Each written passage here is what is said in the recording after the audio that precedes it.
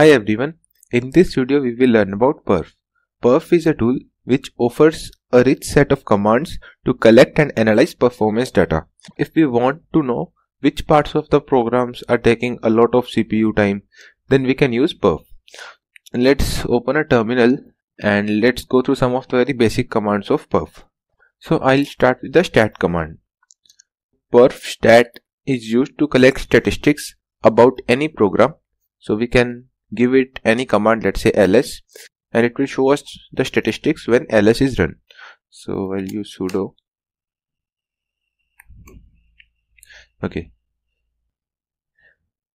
First it executed ls and then it shows the counter statistics for ls.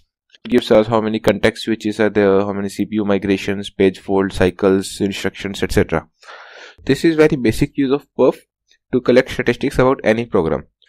Let's say we want to collect stats for the complete system. So we want to collect statistics about every process that is running on any processor. We can use the hyphen a flag to collect the statistics and let's say we want to collect the statistics for one second. Perf stat hyphen a and then we can give it command sleep one. So this will count the statistics for one second. So it says statistics for system wide. So we have these many context switches in one second, these many page faults, etc. And we can use the minus D flag get some detailed statistics. If I run it again, then it shows us some other statistics such as L1 cache loads, L1 cache load misses, etc. Another important command that we can use with perf is perf list. So if I run sudo perf list, it will list all the events that we can count using perf. So it shows us some hardware events such as branch instruction, branch misses. Then there are some software events for which kernel maintains a counter such as CPU migrations or context switches. And then we have some cache events. This PMU refers to performance monitoring unit. So there is a separate unit with the processor which counts various hardware events which include these branch instructions or cache misses etc. So there are a lot of events. Let's say we want to measure certain event uh, for instance let's try to measure these branch instructions. So what we can do is we can use the hyphen e flag. Uh, let's say we want to measure branch instructions for one second across all the processors so I can use hyphen e branch instructions and then it will give me the count for the branch instructions for one second the next command that we will see is perf record. Perf is used to collect the profile data about a certain program in a separate file. So let's say I want to uh, record the data for complete system uh, for one second. Oh, I need to use sudo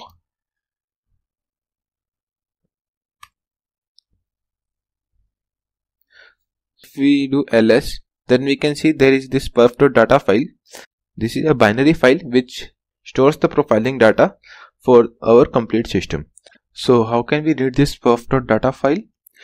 We need to use perf report to read this binary file. Let's use perf report with input file perf.data so this shows us uh, what is the percentage of CPU cycles that were used for this particular command and is the shared object and so on. So let's quit this using q and let's try to profile some c program. So i have written this perfdemo.c file. Let's first have a look at its contents. Uh, this is a very simple program. It has two functions. One is compute function another is compute intensive function.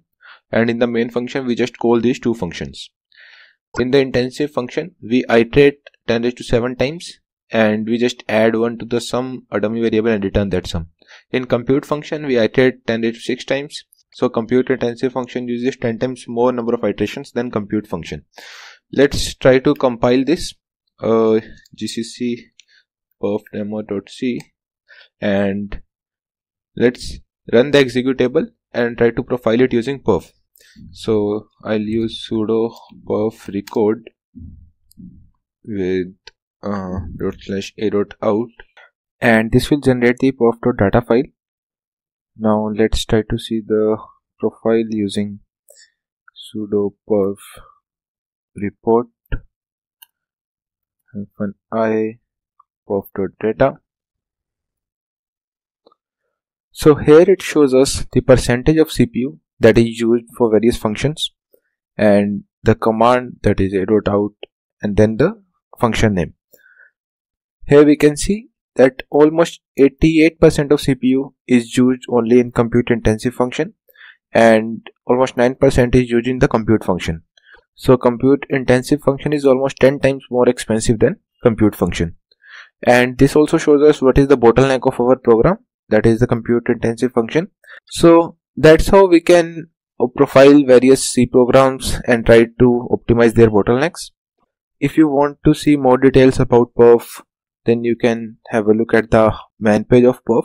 And also there is a very nice tutorial on perf which you can find online. So this explains various commands of perf and what else you can do using perf. So that's it for this video. Thanks and have a nice day